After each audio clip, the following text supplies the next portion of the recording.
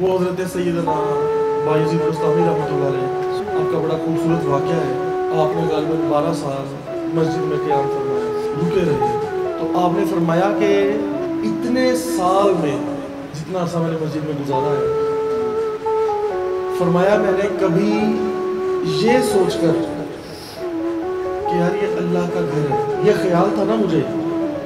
فرمایا اس خیال کی وجہ سے میں نے کبھی مسجد کی دیوار سے ٹیک بھی نہیں لگائی۔ ادب کی وجہ سے۔ یار میں اللہ کے گھر میں بیٹھا اور پھر آپ نے اپنی حیات مبارکہ یوں گزاری۔ کہ جب آپ مسجد میں داخل ہوتے ہیں تو اس کا لباس اور ہوتا۔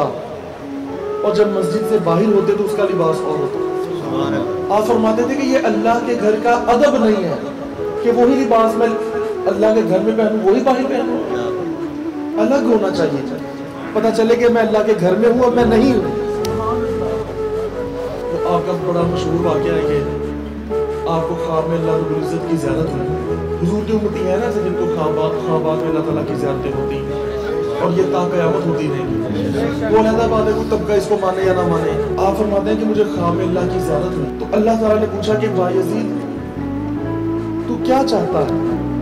تیری چاہت پوچھ رہا ہوں تو چاہتا کیا ہے یہ وہی مقام ہے نا؟ خود ہی کو کر بلند اتنا۔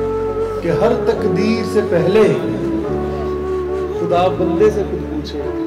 بتا تیری رضا کیا آپ اللہ رب العزت نے فرمایا کہ بھائی جی تو کیا چاہتا ہے؟ تو آپ فرمانے لگے کہ میں نے عرض کیا کہ مولا، کیا میرے مولا کریم؟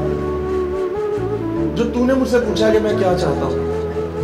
تو میں یہ چاہتا ہوں کہ جو تو چاہے، جو تو چاہے، بس میں وہی چاہوں۔ میں یہ چاہتا ہوں کہ میری چاہت ایسی ہو جائے کہ جو بھی تو چاہے، میں وہ چاہوں۔ تو فرمایا کہ پھر اللہ رب العزت نے آگے سے ارشاد فرمایا جواب کہ با یزید میں اپنے بندے کے ساتھ ویسے ہی ہوتا ہوں جیسے وہ میرے ساتھ ہوتا ہے۔ اب کیونکہ تو یہ چاہتا ہے کہ تو بس وہ چاہے جو میں چاہوں۔ جو یہ چاہتا ہے۔ تو آج سے پھر میں بس وہ چاہوں گا جو تو چاہے۔